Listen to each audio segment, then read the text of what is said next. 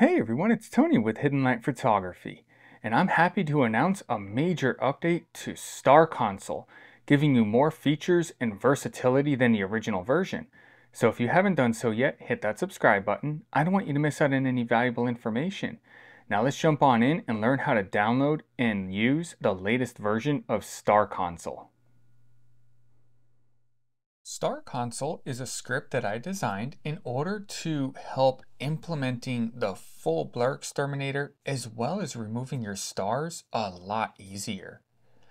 And Star Console even has a feature where you can check your star information in your subframes in order to do an initial check and make sure that things are looking good. Now, since I designed Star Console, I've had a lot of suggestions on different features that should be available on it. And uh, I want to thank each and every one of you for those suggestions. Frank at SETI Astro, um, Astro Island, uh, a lot of you have made a lot of amazing suggestions. Please don't get offended if I didn't mention your name. Um, I love the suggestions. They're, they're there to help make the scripts easier and better for everyone to use. And truly, I appreciate the suggestions. Now, if you have used Star Console before, I'm sure you can already see some differences in here, the uh, implementation of uh, suggestions that have been made. And I want to redo the tutorial to go over these changes and ensure that everyone knows how to use this. Um, first, how do you get the script? If you already have my repository link downloaded, the next time you load PixInsight, you should get a notification in the top left of your window that states that there are updates available. Simply click on that notification and you'll see a window pop up in the center of your screen which has the available repository updates. From there, click Select All, click OK, and then exit out of PixInsight. If for some reason you don't get that notification, what you want to do is go to Resources, updates, and check for updates. That'll prompt PixInsight to check for any repository updates that are available, and you'll get the window that pops up in the center showing the updates, and from there you'll click Select All, OK, and then exit out of PixInsight. Now, if you don't have my repository link, I'll have the repository link in the description of this video, and that link is a package which contains all of my scripts. Another way that you can get the repository link is head over to my website, hiddenlight-photography.com, go to PixInsight scripts, and here you'll see my repository link along with instructions on how to download it in the PixInsight. The easiest way to do this is click on the link and that'll open up a new tab which will have my repository link in the URL section. Just click in the URL section That'll highlight the entire repository link. Copy the link, head back into PixInsight, go to Resources, Updates, and Manage Repositories. That'll open up the Manage Update Repositories window, and from there you'll click Add and paste the repository link into the Add PixInsight repository window. And then you'll click OK.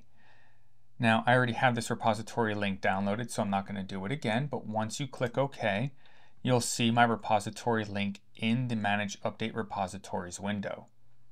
Once you see my repository link in this window, click OK, and then go to Resources, Updates, and check for updates. That'll prompt PixInsight to check for any repository updates. In this case, I don't have any updates available, so I'm going to get this window here. What you'll end up seeing though is a window that pops up which has all of the available repository updates and you'll click select all, OK, and then you'll go ahead and exit out of PixInsight. Now, once you exit out of PixInsight, you'll get, you may or may not get a window that pops up in the center of your screen that asks if you want to allow the application to make changes to your device. If you get that, just click yes, and that'll prompt PixInsight to update. Now, once PixInsight is done updating, it should automatically restart. If it doesn't, just go ahead and reopen PixInsight. And once PixInsight is opened, go to Script, and you'll see HLP, and you'll have all of my scripts. one of them being Star Console. Now, since my initial release of Star Console, I have added some features here. Um, we'll go down the list. For subframe star check, this can be used in order to do an initial check of your subframes, specifically the star data. In fact, if we check subframe star check, we'll see add light subframe files um, then become enabled. What we'll do is we'll click that and we can navigate into uh, some of our subframes. For example, here, uh, if we go to M31, we'll go to panel one, just as an example, we'll take our blue uh, files, we'll go to our lights, and we can go ahead and highlight all of our light frames, click open, and the script will go ahead and open all of those light frames into our tree box here. And the first release just had the full width half max uh, capability.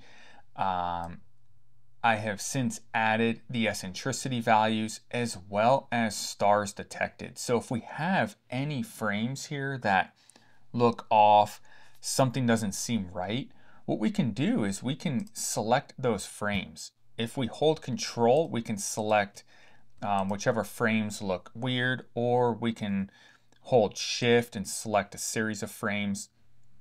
Once we have those frames that look odd to us selected, we can come down to save selected and we can go ahead and choose a folder here. Let's go to, let's just say test. We'll get into that test folder that we just created, click select, and the script is gonna go ahead and save all of those uh, selected frames into a folder, which we have here under test, and we can then take those frames and do further investigation, uh, put them through Blink or your preferred method of inspecting frames to see what may have happened. We can then also delete those selected frames to get them out of our stack and then since we like the remaining frames, we can then go ahead and save the remaining and we can, you know, pick a folder again. Let's do another folder. We'll call this one good. Select the good folder, select, and it'll save those remaining frames from the tree box into the folder that we just selected, which we can then see over here. Here's our good folder, and here's the remaining frames, and we can use those for our stack. Now, let's go back into Star Console. We have, again, the ability to do the full BlurXterminator process. The script will go ahead and uh, if it's a color image, automatically extract the luminance, get the full width half max, and plug it into the PSF diameter of, um, of BlurXterminator. The addition from the original release is we can now adjust the stellar and non-stellar sharpening capabilities of BlurXterminator, which if we go into BlurXterminator, would be our um, stellar adjustment and our non-stellar adjustment and I have the script set up to the um, default values that BlurXterminator has of 0.5 for each.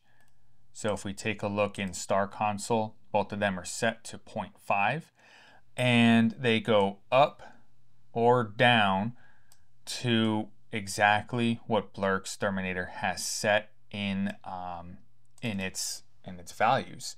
So we can adjust those how we see fit. And then, of course, we have our star removal, which utilizes um, both StarXTerminator and now StarNet. And this was another suggestion, which amazing suggestion. Thank you for um, for recommending that. So we can check our full star um, correction using BlurXterminator, and then we can check star removal if we want the script to then remove the stars. Now I've also implemented with StarXTerminator, we can either unscreen the stars or we can choose just a stars only image. all you have to do is just click the appropriate um, radio control here. And if you uh, don't have StarXTerminator, but you have StarNet, you can then choose StarNet Linear if you're working on a linear image, or StarNet Nonlinear if you're working on a uh, nonlinear image. You can also use the script to just remove the stars by simply not having full star correction checked, or on the flip side, you can have the script just uh, run the full BlurXterminator for you. Um, all you need to do here is select the image that you want to um, have the script run and then click measure full width half max. Another uh, thing that I want to point out, if you don't have anything checked at all, you have an image selected and you click measure full width half max, the script won't really do anything with the image. It'll just give you your uh, full width half max, eccentricity, and stars detected information. Um, if you wanted to um, know that information, there it is right over there. It'll also go ahead and display in the tree box for you. Um, now, if you have, you know, a specific uh, uh, set of parameters that you want to do, such as I like to use StarXTerminator's unscreened stars. I also like to run the full BlurXterminator and you're using these settings over and over, um, what you can end up doing is take the triangle, which is going to be the new instance, another amazing suggestion, bring it onto the workspace, and you can actually just take the icon and drop it on the images that you want to work on, and the script will go ahead and perform the settings that you have set. Um, in this case, we're going to run the full BlurXterminator. And then once the full BlurXterminator is done running, the script will go ahead and run StarXTerminator unscreen stars.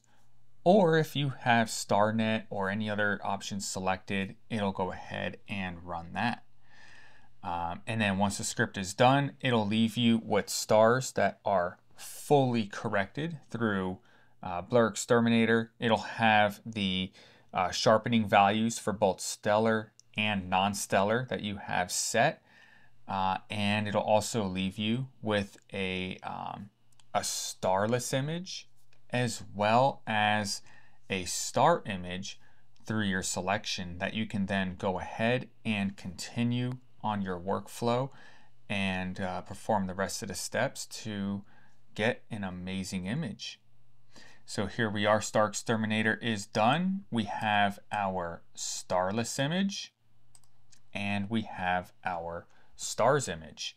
Uh, the other thing, um, if we go back into our process console, it'll show you exactly what was used. Here, um, the script used a uh, PSF diameter of 1.36. Uh, this is helpful if you're using the new instance option. It'll show you the values for stellar and non-stellar sharpening. Um, so it gives you the information right here in the console that you can then use if you wish to know it. So I hope you find this script useful, and if you do and want to help support the channel, check out that join button and consider joining a Hidden Light Photography membership. There's lots of perks in it for you, and your support helps me bring you more tools and content. Another way you can help support the channel is checking out my HighPoint Scientific affiliate link in the description of this video here if you're in the market for some new gear. Also, do me a favor, that channel icon that popped up, hit that channel icon and subscribe. I don't want you to miss out on any valuable information. Drop a comment in the comments section. How do you normally correct for and remove your stars? Would you find this script useful? And then, check out that next video. Until the next time, Clear skies.